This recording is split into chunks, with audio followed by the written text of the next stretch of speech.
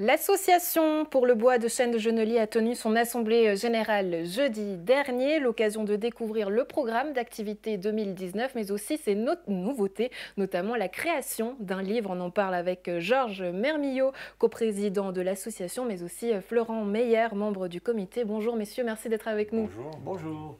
Ce bois de chêne, c'est beaucoup d'amour euh, qui est porté par l'association dont vous faites partie. J'aimerais savoir en tout premier lieu comment se porte cette forêt? Je crois que ça va bien, que, ça reste beau et agréable, et puis que le public a toujours du plaisir à se promener.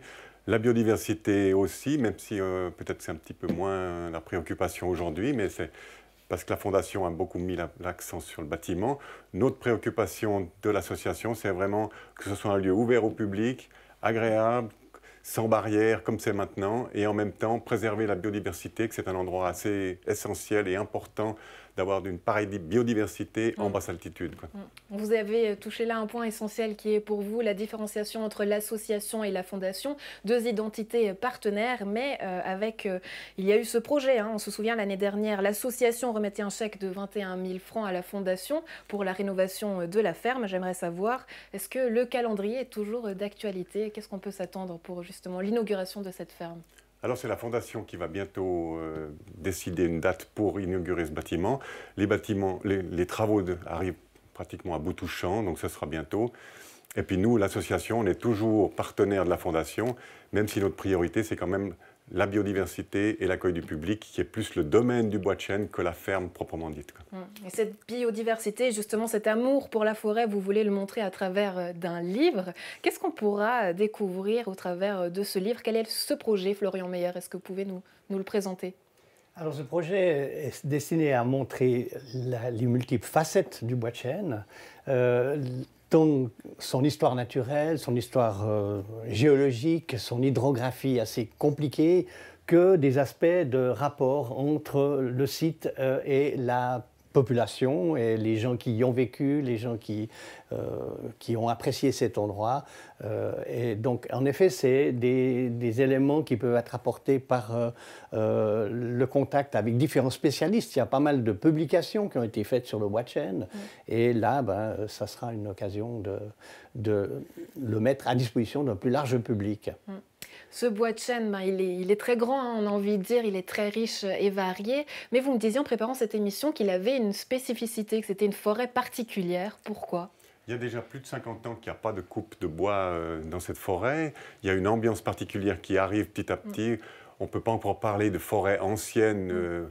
Euh, mais disons, il y a par-ci par-là, on voit qu'il y a des débuts de dynamique naturelle qui redonne une, tout à fait une autre atmosphère par rapport aux autres forêts qu'il y a dans la région. Où Pourquoi justement pas ne faire de coupe? On pourrait imaginer que ben, les promeneurs, quand ils s'y voient, ils se disent ah bah voilà, cette forêt, elle est finalement délaissée à elle-même, on s'en occupe pas. C'est une richesse, enfin, c'est égal. Mais... Non, non, précisément, ça c'est sans doute une originalité.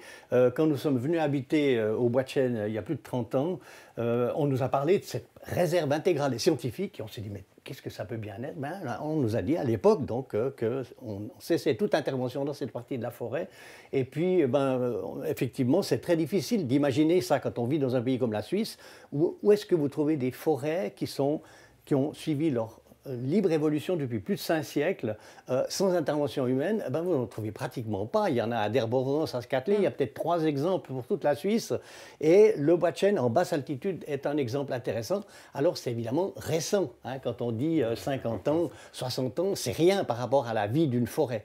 Mais on apprend énormément de choses sur précisément même la manière de gérer les autres forêts qui sont gérées, euh, parce que la quantité de bois mort qui reste sur place, qui, est recyclé par une multitude d'organismes spécialisés, ben, fait réapparaître des champignons, des insectes et autres qu'on ne trouve plus ailleurs. Et ça, on rejoint l'autre euh, hmm. préoccupation, celle de la biodiversité, justement et rendre cette biodiversité aussi accessible au public. Il y a un aspect éducatif, vous nous le disiez justement, au travers aussi de la série d'activités que vous allez proposer aussi en 2019, euh, Georges Mermillot. Qu'est-ce qu'on pourra faire durant euh, cette année? Alors, il y, a, il y, a, un ancien verger qui était réhabilité, il y a des nouvelles plantations, donc il y aura, la première activité, ce sera d'apprendre à retailler pour mettre toutes les bonnes conditions pour ces arbres. Le samedi 9 mars. Voilà. Après, il y a aussi il y a une, activité qui est toujours un grand succès, même si c'est la dernière sur le programme, mais c'est le 28 avril, il y aura de voir la nature se réveiller. le rendez-vous est à 5h30 du matin.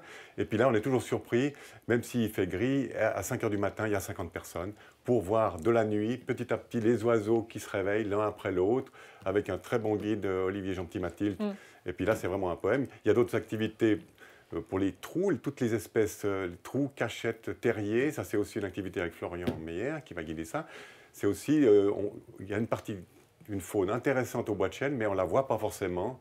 Et puis là, ben, de découvrir des petites traces, un petit trou qui nous semble anodin, et ben ça veut dire qu'il y a une présence là, et puis c'est aussi, ça fait partie de la richesse de l'endroit. Mm. Et puis toutes les activités évidemment que vous pouvez voir sur le site internet, on va vous le donner ici euh, en bas euh, d'image, et là vous pouvez suivre toutes les informations. J'aimerais savoir, vous parliez eh ben, d'écologie, aujourd'hui on en parle aussi euh, justement par rapport au futur, qu'est-ce que va devenir l'écologie, et ce bois de chêne, quel avenir vous lui préservez? Est-ce que vous êtes confiant ou plutôt inquiet du coup? Alors, il y a les deux choses. Il y a les évolutions qu'on voit autour de nous. Il y a quand même pas mal de gens qui, de plus en plus, sont sensibles euh, à l'intérêt que, portent les valeurs naturelles. Mais ceci dit, euh, l'érosion de la biodiversité dans un pays comme la Suisse et dans toute l'Europe euh, reste préoccupante. Et pour le bois de chêne en particulier, il faut quand même rappeler qu'actuellement, les décideurs sont donc regroupés au sein d'une fondation et cette fondation n'a pas dans son ADN de s'occuper prioritairement de ça. D'abord, ils y viennent gentiment. Qu'est-ce qu'il faut faire pour changer ça alors selon ben, C'est précisément une des euh, tâches de cette association pour le bois de chêne de Genolier. Et, c'est pour ça qu'on est partenaire et qu'on est partenaire. Euh, et, précisément, ben, toutes les, on, a mentionné quelques visites sur le terrain, euh, la fois où on fait venir un spécialiste des mustalidés, des, des marques, des, ou, ou, un autre qui nous parle du champignon, qui fait reconnaître les bourgeons en hiver, etc. Et eh ben, tout ça, c'est des portes d'entrée pour essayer de mieux apprivoiser cette biodiversité autrement que par euh, Internet, etc. C'est complémentaire d'ailleurs. Et puis, du coup, euh, quand on, bah, c'est l'adage bien connu, hein, quand on connaît mieux quelque chose, on arrive mieux à l'aimer et à le respecter. Donc, euh, c'est sur cette voie-là que, que, nous engage la BCG. Ouais. Préserver ce bois de chêne, c'est tout le mal qu'on vous souhaite. Et puis, longue vie à lui. Et merci d'avoir été avec nous, messieurs. Merci. Merci.